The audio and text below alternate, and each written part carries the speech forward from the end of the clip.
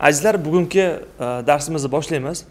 Darsimizni boshlashdan oldin hozir mehmonimiz bor va mehmonimiz bilan sizni tanishtiraman. Undan oldin man minnatdorchilik bildirmoqchiman. Nima uchun? To'g'risi sizlarni e, aynan shu darsliklarimizni ostida qoldirgan reaksiyalaringizni ko'rib yoki e, kimgadir yuborayotgan bo'lishingiz mumkin tanishingizga man avvalo shaxsan o'zim nomimdan minnatdorchilik bildiraman. Chunki sizni har bitta qilayotgan harakatingiz bizni yanada ko'proq va foydali ma'lumotlar chiqarishimizga sabab bo'lyapti ya'ni siz sababli. Siz aynan videolarimizni qo'llab quvvatlaganligingiz uchun ham biz qaysidir ma'noda yanada ishtiyoq bilan yanada shijoat bilan harakat qilyapmiz. Ho'p avvalo uzr so'rayman. Hozir e, bizda qanaqadir xatolar bo'lsa agar yo'l yo'lakka tuzatib boramiz va bizda hozir bitta mikrofonimiz bor. Marjona. Э, bugungi mehmonimiz marjona o'zimni shogirdim psixolog mutaxassislari mutaxassisliklari bo'yicha. Va hozir biz sizga e, berayotgan mavzularimiz tushuntirayotgan mavzuyimiz berayotgan ma'lumotlarimiz juda ham muhim va juda ham dolzarb. Ya'ni bu xatolar bu ma'lumotlar insonni bir umr taqib etishi mumkin. Unda bir umr qolishi mumkin. Va aynan shu mavzu shu ma'lumotlar haqida Э, biz to'xtalishga harakat qilamiz. Marjona bugungi mavzuni o'zingiz tushuntirasiz va man qo'shimcha qilishim kerak bo'lgan joylarda qo'shimcha qilaman. Mikrofonni adashmasam shu yerga qo'ysak bo'ladimi yoki qo'limizga ushlaymiz? Yaxshi. Avvalambor assalomu alaykum. Ismim marjona. Э, bugun biz sizlar bilan boladagi muammolar e, ya'ni boladagi eng asosiy muammolar qo'rquvlar haqida suhbatlashamiz. Bolada nima uchun qo'rquvlar bo'lib bo'ladi? Qo'rquvlarni kelib chiqish sabablari qanaqa va ular qanaqa oqibatlarga olib keladi? Shu haqida suhbatlashamiz. Avvalambor keling qo'rquv fobiya va vahima nima ekanligini bilib olaylik. Ko'pincha insonlar ana shu uchta turni adashtiradi. Ya'ni qo'rquv bu vahima deb o'ylashadi yoki bo'lmasam fobiya va qo'rquv bir deb o'ylashadi. Qo'rquv bu insonda organizmda avtomatik ravishda yoki bo'lmasam to'satdan paydo bo'ladigan jarayon hisoblanadi. Ya'ni biz e, misol uchun e, yo'lda borayotganimizda to'satdan it chiqish e, chiqib qolishi mumkin yoki bo'lmasam yo'ldan o'tayotganimizda birdaniga mashina signali baland bo'lganligi uchun qo'rqishimiz mumkin. Va bu narsa bizda avtomatik ravishda paydo bo'ladi va bu qo'rquv deb ataladi. Fobiyalar esa bu qo'rquvdan keyingi jarayon hisoblanadi. Ya'ni biz qo'rqdik o'shandan keyin bo'ladigan jarayon bu bizda fobiya hisoblanadi. Vahima nima? Vahima bu inson o'zi o'ziga e, bo'lmagan narsalarni e, mavjud bo'lmagan hislarni his qilishi bu fobiya hisoblanadi. Ya'ni e, vahima hisoblanadi. Ya'ni kattalashtirish hisoblanadi. Biz nimadandir qo'rqdik va bu qo'rquvdan keyin fobiyaga aylandi. Va u ma'lum muddatdan keyin vahima bo'lishi mumkin. Ya'ni inson e, misol uchun yo'ldan o'tishga qo'rqadi yoki bo'lmasam ko'chaga chiqishi e, ko'chaga chiqmasligi mumkin e, ko'chadan it chiqib qolishi mumkin yoki bo'lmasam bezorilarga uchrashi mumkin kabi vahimalar insonni uydan chiqarmaslikka sabab bo'ladi. Marjona e, buni oddiy qilib tushuntirayotgan bo'lsak masalan qo'rquvlarni yana bitta e, sizda xulosa bo'lsinki qo'rquvlar bu normal holat.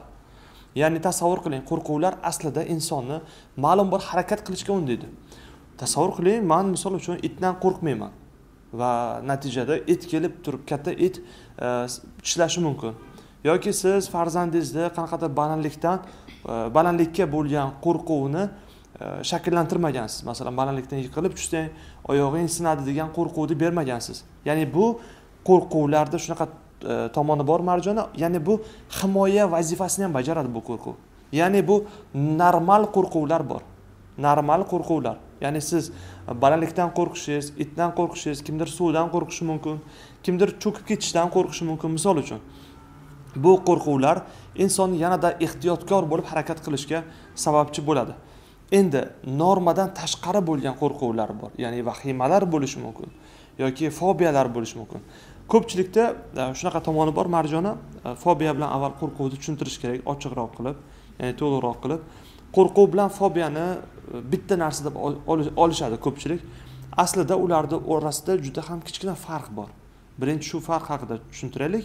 Ya'ni qo'rquvlar demak bu normada birinchi xulosamiz qo'rquvlar bu normal holat.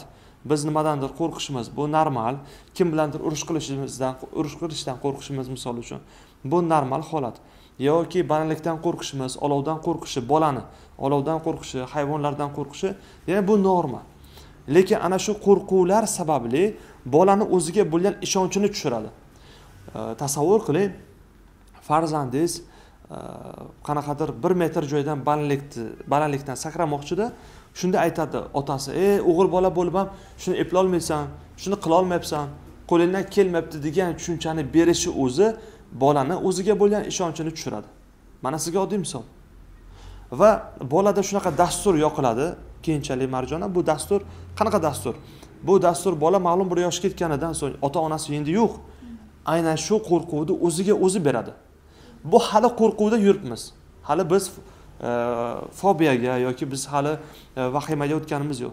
Demak qo'rquvlarga bo'lgan munosabat ya'ni bolaga siz nimanidir o'rgatayotgan vaqtingizda qo'rqish bilan o'rgatyapsizmi qo'rquv bilan unga e, o'rgatishni ilgari suryapsizmi? Birinchi navbatda uni o'ziga bo'lgan ishonchini tushishiga sababchi bo'ladi. Fobiyalar haqida ma'lumot bersangiz. Э, to'g'ri aytdilar. Э, o'sha qo'rquv bizni э, ma'lum bir narsalardan himoya qilishi mumkin ya'ni bu bizga ijobiy ta'sir qiladi. Lekin bizga salbiy ta'sir qiladigan narsalar bu fobiya va vahima hisoblanadi. Qo'rquvlarni turlari haqida gapirib bermoqchiman va undan keyin fobiya va vahimani tushuntirmoqchiman. Qo'rquvni uchta turi mavjud ya'ni haqiqiy E, ijtimoiy va jismoniy e, turlari mavjud. Haqiqiy qo'rquv e, ya'ni boya aytib o'tganimdek organizmda to'satdan paydo bo'ladigan jarayon hisoblanadi. Misol uchun mashinada baland ovozini eshitishimiz yoki bo'lmasam to'satdan it chiqib qolishi bu bizda haqiqiy qo'rquvga misol bo'ladi. Ijtimoiy qo'rquvlar nima? Ijtimoiy qo'rquvlar bu inson davralarga chiqib nutq so'zlashdan qo'rqishi yoki bo'lmasam masxara qilishdan qo'rqish sharmanda bo'lib qolishdan qo'rqish bu insonni ijtimoiy qo'rquvlari hisoblanadi jismoniy qo'rquvlar esa bizga organizmimizga zarar yetkazadigan ya'ni og'riq turli xil o'zimizni hislarimiz borku ana shu hislarimiz orqali ta'sir qiladigan narsalar bu qo'rquv jismoniy qo'rquv hisoblanadi misol uchun balandlikdan qo'rqish hisoblanishi mumkin chunki inson balandlikdan yiqilgan paytda oyoqi oyog'i lat yeb qolishi mumkin yoki bo'lmasam qanaqadir jismoniy zarar yetkazgan bo'lgan paytda insonda jismoniy qo'rquvlar bo'ladi. Fobiya nima? Fobiya bu haqiqiy emas qo'rquvga kiradi. Ya'ni misol uchun Э, biz tush ko'ramiz u narsa bizda hayotimizda bo'lmaydi va u haqiqiy bo'lmagan narsalarni biz e, ongimizga to'satdan paydo bo'ladigan narsalarni ko'proq ko'rishimiz natijasida fobiyalar e, vujudga keladi. Misol uchun e, bizda fantaziyamiz bor va biz o'zimiz boshqa narsalarni to'ldirib ketishimiz mumkin va fantaziyamizga har xil narsalar keladi. Ana shu e, fantaziyamizga kirgan narsalar ba'zida fobiyalar hisoblanadi. E, ya'ni e, fantastik kinolarni ko'rishimiz mumkin yoki bo'lmasam qanaqadir ужас kinolar ko'rishimiz mumkin detektiv kinolarni ko'rishimiz mumkin va bu narsa bizni ong ostimizda muhrlanib qoladi. Ya'ni bu yerda yana bitta narsa aytib o'tish kerakki marjona ota ona hatto farzandlari ko'rayotgan sizni farzandingiz ko'radigan o'sha multfilmlarni filmlarga siz e'tiborli bo'lishingiz kerak. Hmm. Chunki aynan bolalarda fobiyalarni kelib chiqish sabablari ham aynan shularda bo'ladi. Oddiy misol. Chunki e, tasavvur qiling u multfilm ko'rib o'tiribdi to'satdan qanaqadir qorong'ulikdan qanaqadir katta maxluq chiqib qoldi. Hmm. bolada bu fobiya bo'ladi. Va bolalarda shunaqa holat bo'ladiki ular qorong'ulikda yolg'iz yotishdan qo'rqadi. Nima uchun? Chunki ularni ong ostida shunaqa idrok qiladiki hozir qorong'i bo'ladigan bo'lsa qanaqadir maxluq chiqadi va buni olib qochadi. Mana fobiya oddiy misol. Mm-hmm. Э, ya'ni inson o'zini ongiga mavjud bo'lmagan narsalarni xayoliga keltirishi bu fobiya hisoblanadi. Shu uchun ham bu haqiqiy emas qo'rquv deb ataladi. Э, ko'pincha insonlar fobiya bilan qo'rquvni ana shu jihatini э, farqlashi mumkin ya'ni adashtirib qolishi mumkin. Vahima nima vahima bu qo'rquvni patologik turi hisoblanadi. Ya'ni insonda vahima bo'ldimi bu xuddiki patologik kasallikdek hisoblanadi.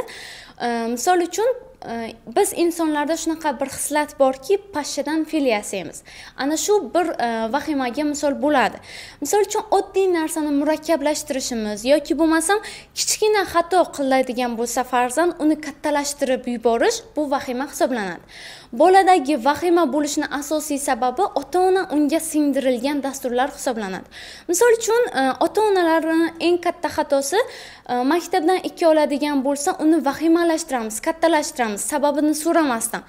Farzandingiz nima uchun ikki olganini so'ramaysizda san o'zi ahmoqsan san o'zi ikkichisan shuni ham qilolmadingmi? kabi so'zlarni ishlatamiz va bu bolada vahimani shakllantiradi. Bola borib borib bu ikki olish ham oddiy holat ekanligini yoki bo'lmasam ikki olish naqadar yomon ekanligini e, anglab yetishi mumkin tushunib yetishi mumkin. Bu yerda yana bitta holat bor marjona.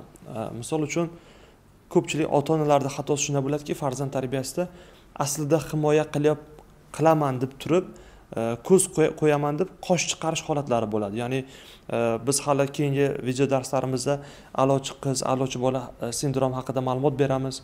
Ya'ni o'zidan kechgan bolalar haqida ma'lumot beramiz. E, bu keyingi darslarimizda. Hozir aytmoqchi bo'lgan narsam shuki farzandingiz qanaqadir xatoni qilayotgan vaqtida san buni eplolmaysan sani qo'lingdan kelmaydi san qo'rqoqsan san qat'iyatsizsan yoki u musobaqaga chiqqan vaqtida unga qanaqadir mas'uliyat yuklaydi ota ona hozir yodimga tushdi. Mas'uliyat yuklaydi ota ona qanaqa mas'uliyat? San birinchi o'rinni olishing kerak san chempion bo'lishing kerak. Bolada уже bu mas'uliyatni eshitganidan keyin uni endi vahima bosadi. Qanaqa vahima bosadi? Hali u kurashni raqibini hali bilmaydi. Hali u kurash tushishni boshlagani yo'q. Unda shunaqa vahima paydo bo'ladiki yutqazib qo'ysam nima bo'ladi? Ko'rdingiz a avtomatik ravishda bu narsa bo'ladi. O'zi bilmagan holati bu narsa. Ya'ni bu muammo ota ona mas'uliyat yuklaganligidan. Ya'ni savol tug'iladi. Ho'p firdavs mani bolam ikki oladigan bo'lsa sani aytishing bo'yicha man bu vaziyatda nima qilishim kerak? Bu vaziyatda siz aytasiz ey bolam nima uchun ikki baho olding? Sababini so'raysiz. Va bu ikki baho olganligi muammolashtirmasdan kattalashtirmasdan san vaqtida darsing qilishing kerak deb tanqiddan qochgan holatda tanqid qilmagan holatda o'tirib birgalikda o'sha faoliyat turiga shug'ullanish kerak. Mana oddiy misol. Bu bola birinchi sinfda ikkinchi sinfda uchinchi sinfda yaxshi o'qishi mumkin.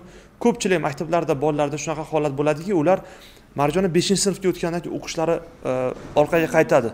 Nima uchun? Birinchidan mas'uliyat oshdi bu bir.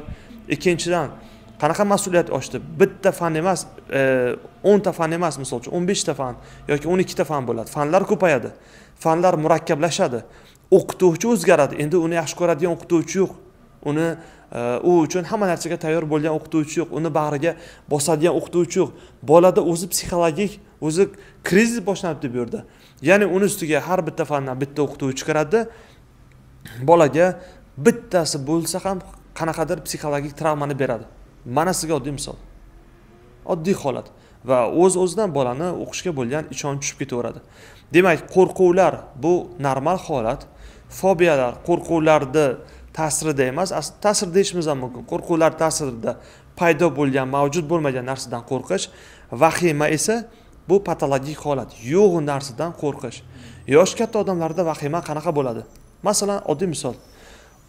Koronavirus bo'ldi ko'rdi qancha odamlar vafot etdi. Misol uchun koronavirusni belgilari bor. Va shu biliklardan qo'rqib ya'ni o'limdan qo'rqqan holatda o'zi o'zini vahimaga tushadi vahimaga soladi.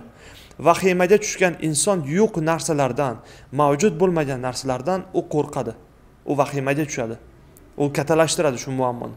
Xuddiki uni xayoliga hozir yuragi tez urgandek har ikki minutda yuragini ushlab ko'radi.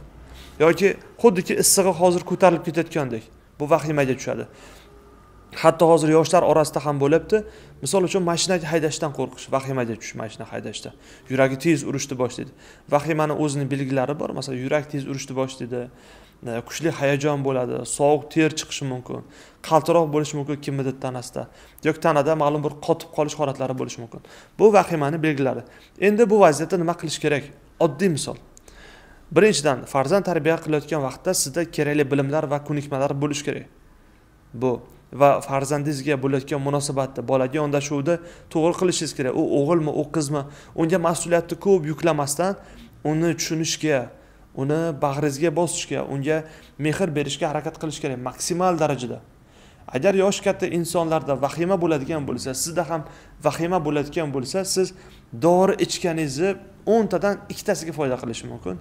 U ham samovnушение ya'ni o'z o'zini ishontirish orqali. Man hozir dori ichaman hammasi yaxshi bo'ladi deydi mana oddiy sizga misol. Vahimaga tushgan inson o'zini odatlarini kundalik yashash tarzini tarziga o'zgartirish kiritish kerak. Masalan u ko'chaga chiqishdan qo'rqayotgan bo'lsa vahima bosayotgan bo'lsa ko'chaga chiqishda birinchi bo'ladiyu o'rnidan turib turib o'sha darvozani oldigacha eshigini oldigacha borish kerak qaytish kerak. Bo'ldi. Ikkinchi holatda ikkinchi kuni esa darvozani ochish kerak eshigini ochish kerakda eshikni yopish kerak. Ko'rdingiz har kuni kichkina qadamlardan qilish kerak. Vahima bor qorong'ulikka nisbatan bolada. Qorong'i tushaversa bolani vahima bosadi. Qorong'ixonani eshigini ochib qo'yish mumkin birinchi qadamda ikkinchisida kirish mumkin chiqish mumkin. Xuddi shunday insonda qanaqadir vahimalar bo'layotgan vaqtda unga yangi odatlar kerak. Demak unga o'zgarish vaqti kelganligidan dalolat beradi. Shuning uchun har qanday insonni har qanday muammoga yechim berayotgan narsa bu ilm. Qachonki sizda yetarlicha bilimlar va ilmlar bo'ladigan bo'lsa sizda qo'rquvlar va vahimalar bo'lmaydi. Endi bu yerda yana bir savol tug'iladi. Vahima hammada bo'lishi mumkinmi albatta. Vahima hammada bo'lishi mumkin. Vahimani biz uchga uchta darajaga bo'lishimiz mumkin. Qanaqa daraja? Masalan birinchi darajasi past darajadagi vahima. Ikkinchisi o'rta darajadagi vahima. Uchinchisi masalan yuqori darajadagi vahima. Yuqori. Past darajadagi vahima nima? Past darajadagi vahima ko'chaga chiqishingiz mumkin bemalol yurishingiz mumkin vahima ichkarida bo'ladi. Qo'rqib turasiz har doim. Hozir nimadir bo'ladi to'satdan. O'rta darajadagi vahimada esa siz uyingizdan uzoqqa borolmaysiz masalan samarqandda turayotgan bo'lsangiz agar siz samarqanddan e, boshqa viloyatga chiqa olmaysiz toshkentdan boshqa viloyatga chiqa olmaysiz. Mana oddiy misol. O'zbekistondan boshqa mamlakatga chiqa olmaysiz. Yuqori darajasi esa siz hatto ostonda hatlab ko'chaga chiqa olmaysiz. Mana oddiy misol. Xuddi shunday vahimani ham uchta darajaga bo'lishi mumkin. Mana oddiy misol. Bolalardagi fobiyalar borib borib vahimaga aylanishi mumkin. Aytasiz firdavs agar boladagi fobiyalarni hammasi vahimaga aylanadimi? Yo'q. Hammasi aylanmasligi mumkin ammo ularni o'ziga bo'lgan ishonchi past bo'ladi. Musobaqaga chiqqan vaqtda uni vahima bosadi. Ko'rdingiz ekstremniy vaziyatda o'zini ko'rsatib qo'yadi. Imtihon topshirayotganda vahima bo'ladi. Qo'rquv bo'ladi. Mana keladi mani farzandim psixologik tayyorlash kerak. Unda hayajon bo'ladi unda qo'rquv bo'ladi deb aytadi misol uchun. Psixologik tayyorgarlik bu musobaqaga bo'lishi mumkin bu imtihonga bo'lishi mumkin. Mana sizga oddiy holat. Shuning uchun hamma narsani negizi borib ta'limga tarbiyaga borib taqaladi. Mana sizga oddiy misol. Ho'p biror ma'lumot bormi marjona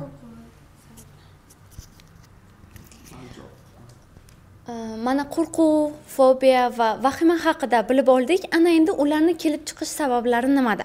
Asosan bolalarda uch yoshdan keyin Э, qo'rquvni kelib chiqish sabablarini beshta turlari mavjud.